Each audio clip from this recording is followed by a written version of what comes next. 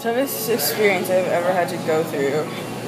Hmm. Probably sadly my last breakup. I hate breakups. Like I know everyone hates breakups, but I hate breakups to like an abnormal extent. So I was hospitalized for my first suicide attempt in grade nine, and then I it started a pattern where I would be in the hospital and then I would get out and then I would attempt suicide again and then I'd go back in. There are a bunch of obviously hard moments in my life, but I guess the main one would have to be um, coming out to not only myself and not only, not only my peers, uh, but my mom and my dad. I don't know, everybody goes back into their past and says like, I had such a happy childhood, I want to go back into the days of innocence, but like, I don't think I'd go back. Not, not now. I was always a kid that was energetic and always the one that was really friendly and approachable to other people. But because of like um, my weight, because I was really overweight, um, not that many people wanted to be my friend or associated with me really.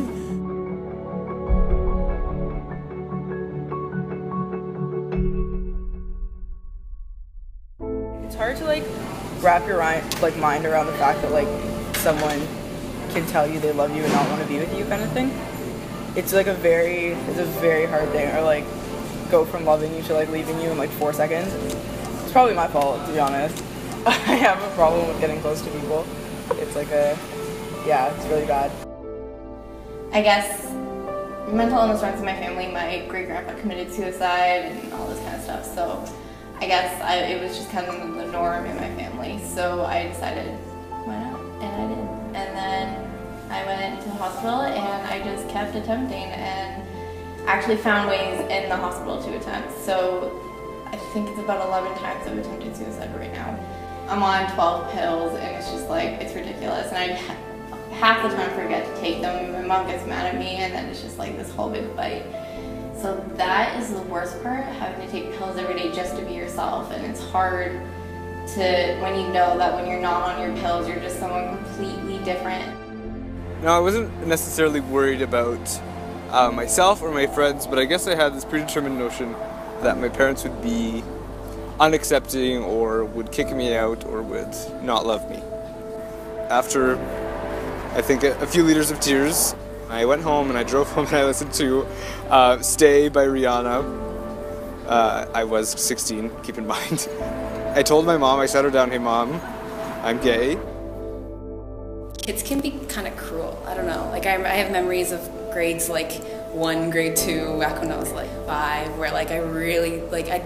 It's not the happy childhood everybody kind of wants to go back to. It's more of the kind of like I don't know. It's a childhood that like I kind of bury away, and I just I I went through most of my childhood thinking, what's wrong with me? Why am I so different? Why does everybody tell me that I need to change? It's the only person who would talk to me were some of the teachers. And even then, some of them were just like, don't you have friends? Like, go play with your friends. And I was like, I don't have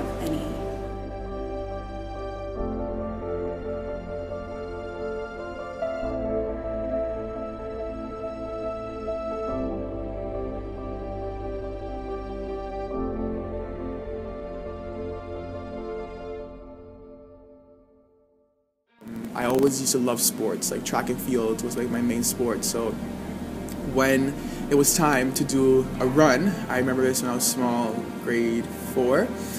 Everybody was like, "Nah, he's not gonna win because like look how big he is and like so chubby, like he can't run." But during the race, uh, when the gun let off, I took off and surprisingly, I came first um, and I proved to everybody, you know what, just because I was fat doesn't mean I can't run, doesn't mean I can't do, I guess, sports in general. It was, everyone says it, but it's so true. It was just a weight lifted off my shoulders. I had, I didn't have to worry about, you know, telling my mom that this boy is cute or I didn't have to worry about anyone else in my family caring because if my mom didn't care, then nobody should have cared. I got into an arts program that was, it became a family kind of thing. I got to start a new beginning, and all of a sudden things changed. I had friends. I I got to be part of a group, a family almost. Like all of a sudden I had weekend plans, which never happened when I was in grade six or seven or eight or anything like that in elementary school. Mental health is always hard, but it's always treatable. Some are not recover, like you can't totally recover, but same with broken leg. You don't want to walk on a broken leg for the rest of your life, but sometimes you have to. Hello world and all who inhabit it. If you happen to enjoy this video, please give it a huge thumbs up and leave a comment down below and share it with all your friends and family and all over your social media. Speaking of social media, be sure to check mine out on the description box below and subscribe to my channel for more weekly videos. Check out my old videos if you already haven't.